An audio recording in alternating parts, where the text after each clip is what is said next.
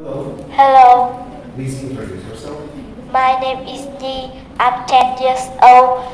I'm I'm Khúc Xuyên Primary School. I'm from Vietnam. I'm like in Bắc Ninh.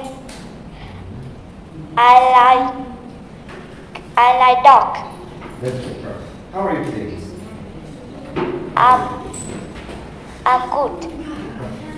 Now let's look at this picture. Take this uh, pointer and describe that picture using the is the right. Five sentences.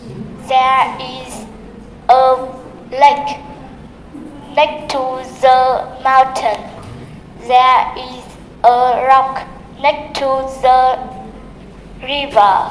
There is a boy next to the trees. There is a plane in the sky.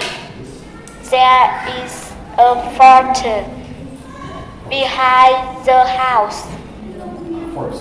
Okay. Okay. That's good. Yes. Yes. Yes. Yes. Hold on. Hold on. Now uh, we see things happen with Jack. Yeah. Let's describe some of them, starting with two. With the second. When they were hungry, they had a picnic. When it started to change, they took under the trees.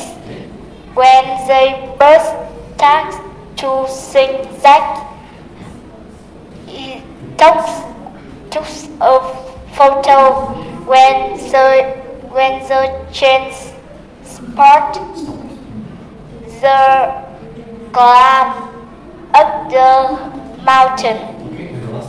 When they were tiger, they both a bite. They got a bus. Yeah. Bus. They were tired. They got a bus. That's good. Not bad for the first try. Great. Great. Good.